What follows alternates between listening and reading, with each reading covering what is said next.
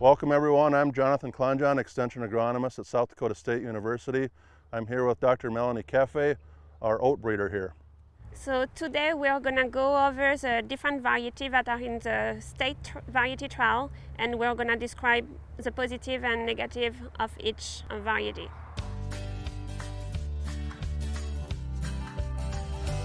First variety we'll look at is CS Camden from Canterra Seeds out of Winnipeg. Uh, the marketing branch for the United States is Meridian Seeds.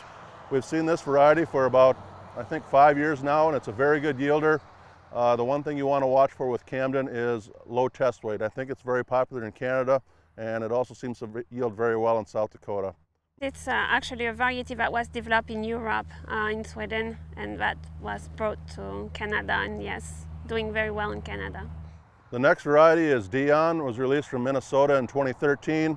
Deon was one of the first varieties for South Dakota, adapted to South Dakota that had crown rust resistance. So this one has been the one to beat in eastern South Dakota, uh, a little bit later maturing. Uh, one thing you want to know about Deon is it's a yellow hulled oat. Okay, the next variety is Esker 2020 from Wisconsin. This is the second year we've seen this one in the trials. Uh, early maturing, did not perform very well last year. Well, I guess we'll see how it does this year. Yeah, the test weight is not was not uh, very high last year, so that's something to watch for. Okay, Goliath is the first one today from South Dakota. This one was released, uh, I believe, close to 10 years ago. This one's always easy to pick out because of its height, and that's where it's got its name. Very good forage and uh, grain dual purpose oat. This is still very popular with a lot of growers in South Dakota. But uh, we have some better replacement that uh, John's gonna talk about next.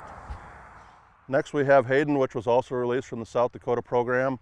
Also a very good yield producer and a very good forage producing oat.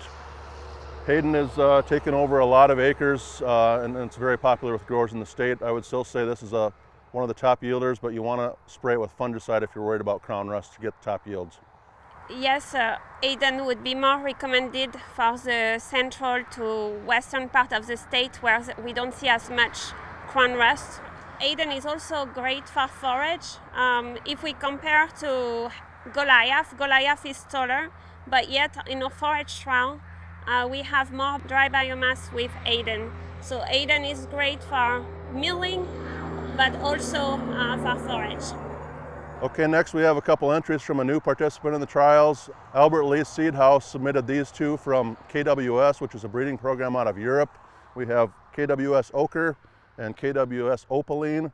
Uh, we don't know anything about these and Albert Lea Seed House wasn't really able to provide any information either, so we'll see how they do the first year in the trials here in 2021. Okay, our second entry from Minnesota is MN Pearl. This will be the third year we've seen this variety. Just to be brief, I would call this a white-hulled version of Deon, which I talked about earlier.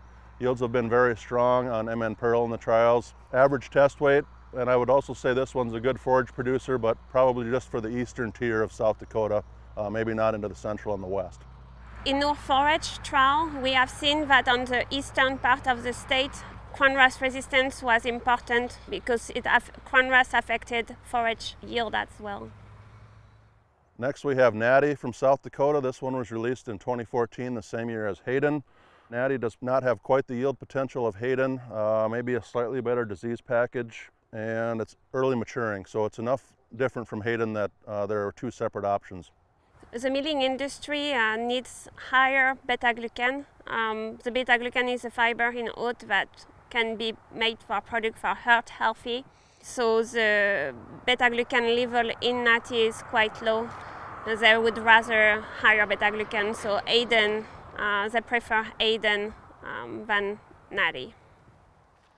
Okay, next we have Rains. This is a new entry to us. It's actually uh, released from 2015 from Illinois but this is the first year in the South Dakota trials. Rains, we tested it in the organic trials and it seemed to do quite well. It's an early maturing variety and as you can see it's pretty short with good uh, straw strength. It also does well in Iowa uh, with high test weight so we thought it would be good to see how it performs over South Dakota. Okay, our next variety is Rushmore. This was the latest release from South Dakota in 2019. This plot does not look the best, kind of a thin stand, but uh, Rushmore is a very good yielder throughout the state.